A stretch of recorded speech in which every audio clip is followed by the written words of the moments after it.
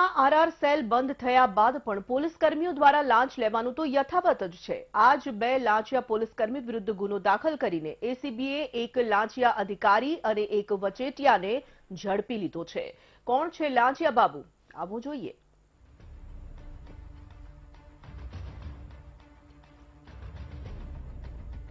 લાંચિયા બાબુ લપેટાયા. ખાખી વર્દીની આડમાં લીધી લાંચ. સુરત જિલ્લાના પીપોદરા વિસ્તારમાં ઓઇલનો વેપાર કરતા એક વેપારી પાસેથી લાંચ માગનાર એક પોલીસકર્મી સહિત વચેટિયાને પોલીસે ઝડપીને જેલ હવાલે કર્યું છે. કોણ છે આરોપીઓ?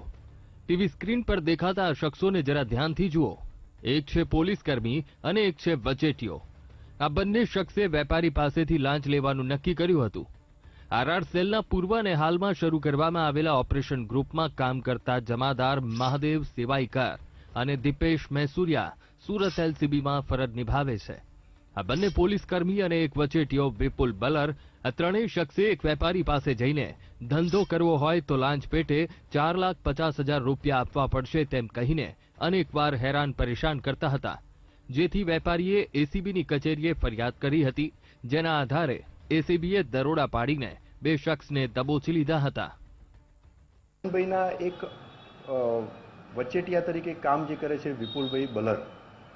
એમનો ફોન એસીબીના ફરિયાદી ઉપર ગયો અને આ બાબતે એમ કે વહીવટ કરવા માટે એમને રૂબરૂ બોલાયા.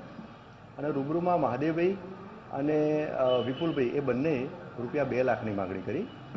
ત્યારબાદ આ ફરિયાદી પાસેથી સુરત ગ્રામ્ય એલસીબીમાં ફરજ બજાવતા દીપેશ મૈસુરિયાએ પણ આ જે જે કાચા ઓઇલના ટ્રેડિંગનો જે ધંધો કરે છે, ગેરકાયદેસર ધંધો છે અને જો પૈસા નહીં આપો તો ગુનો દાખલ કરી દેવામાં આવશે. એવું કહી અને એસીબીના ફરિયાદી પાસેથી બે લાખની માગણી કરી. કેવી રીતે ફસાયા ટ્રેપમાં? ઓઇલના વેપારીએ ફરિયાદ કરતા અમદાવાદથી એસીબીની ટીમ સુરત ગઈ હતી. જ્યાં કિમ પીપોદરામાં વેપારીની ઓફિસે વોચ ગોઠવી હતી, જ્યાં વચેટીઓ વિપુલ બલર લાંચની રકમ ચાર લાખ પચાસ હજાર લેવા આવ્યો હતો. આ દરમિયાન ત્યાં મહાદેવ પણ આવતા એસીબીએ બંનેને ઝડપી લીધા હતા.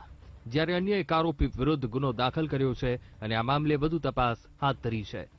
ટ્રેપ દરમિયાન વચેટીઓ અને જે રેન્જ ઓપરેશન ગ્રુપમાં ફરજ બજાવે છે, એએસઆઈ મહાદેવ કિશનભાઈ, એ બંને સ્થળ ઉપરથી રેડ હેન્ડેડ પકડાઈ ગયા અને જે એલસીબીના જે કર્મચારી જે છે દીપેશ મૈસુરિયા, એ ફરાર છે. આ ત્રણેય કર્મચારીઓના વિરુદ્ધ બે પોલીસ કર્મચારીઓ અને એક ખાનગી વ્યક્તિના વિરુદ્ધમાં સુરત ગ્રામ્ય એસીબી પોલીસ સ્ટેશનમાં ગુનો દાખલ કરેલો છે. કેવા છે કારનામા. સરકારે ભલે આરઆર સેલને બંધ કરીને એક અલગ સ્ક્વોડ બનાવી હોય, પણ સુરત જિલ્લા પોલીસ સુધરવાનું નામ નહીં લે. નામ ભલે અલગ થઈ ગયું હોય, પણ કામ તો જેમનું તેમ જ છે. એસઆઈ મહાદેવ છેલ્લા ઘણા વર્ષોથી ફરજ બજાવે છે અને વહીવટ પણ કરતા હતા. એટલું જ નહીં, એસઆઈ મહાદેવ લાખોની મિલકત પણ ધરાવે છે. તેમની મિલકતની તપાસ થાય તો અનેક હકીકતો પણ ખુલી શકે છે. કેમેરામેન દેવેશ સોલંકી સાથે શૈલેષ ત્રિવેદી વીટીવી ન્યૂઝ સુરત.